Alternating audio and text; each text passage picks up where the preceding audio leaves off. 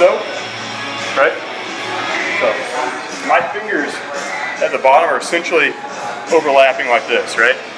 Coming through on the front side, keeping my elbows in close to the body,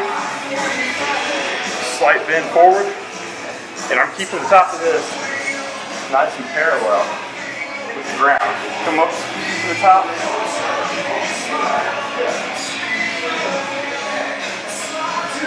Nice good squeeze and burn at the top.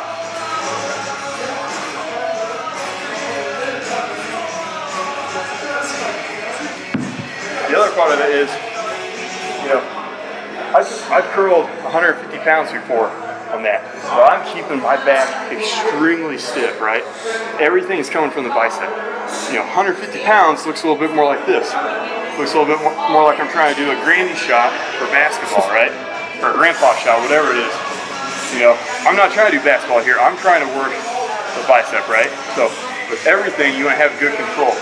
So everything, you know, you're a Tin Man. The only thing that's moving is those biceps, right? Or your wrist coming towards your shoulder.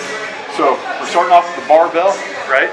So everything's equidistant. We're gonna hit both sides of the bicep equally. You have your inner head and you have your outer head, right?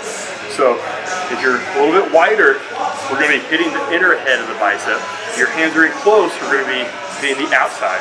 So if we're hitting equidistant, and then it's always easier to come inside of the shoulders than it is to go outside. So we're, we're going in progression, but we're coming in close, making it a little bit easier while keeping the intensity high.